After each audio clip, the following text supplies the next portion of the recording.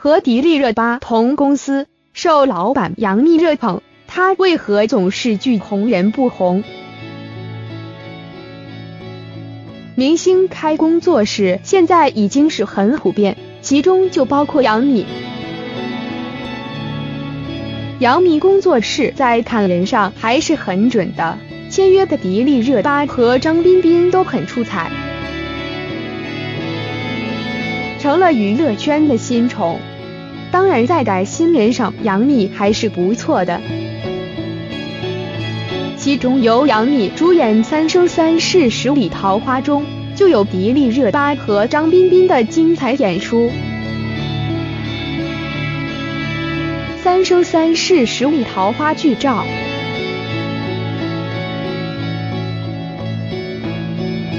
《三生三世十里桃花》剧照，《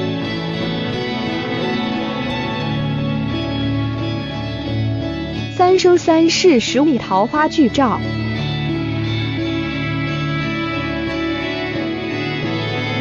三生三世十里桃花剧照。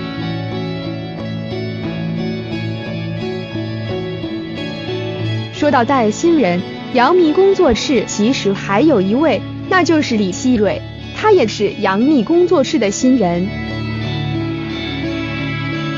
在电视剧《翻译官》中，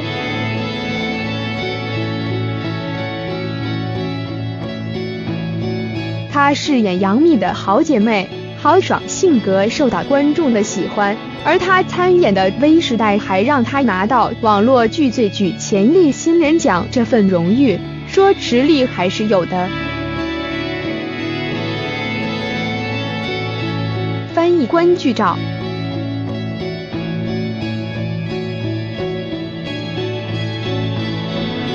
翻译官剧照。除此之外，漂亮的李慧珍中。她也是演女二号，有很多戏份。漂亮的李慧珍剧照，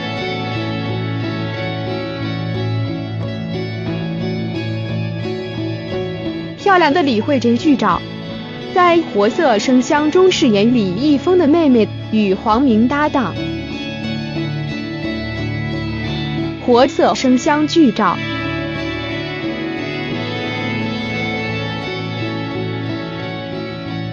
活色生香剧照，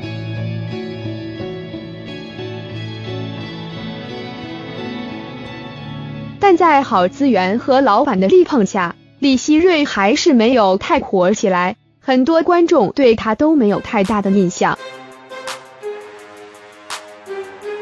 而李希瑞刚开始是做歌手的，后来转行做的演员。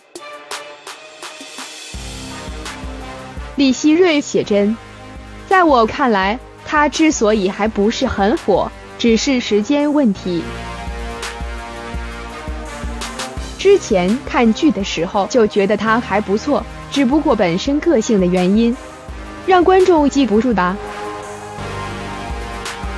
而在十八年，李希瑞有多部剧逐渐开始上映，例如已经开始播他和熊梓淇合作的《帝国您老公》。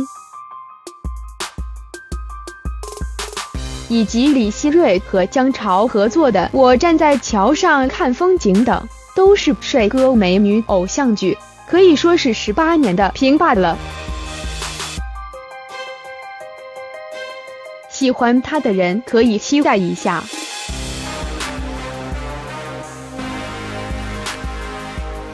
《国民老公》剧照。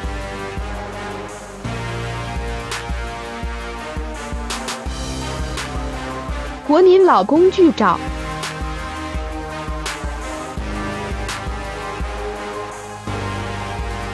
国民老公剧照，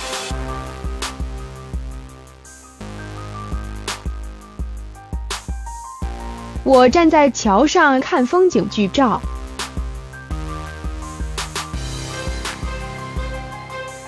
我站在桥上看风景剧照。